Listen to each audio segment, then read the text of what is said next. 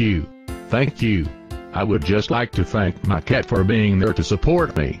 And my mom for the Kraft Dinner and wieners. What about thanking your wife, you thankless worm? No supper for you tonight. Or anything else.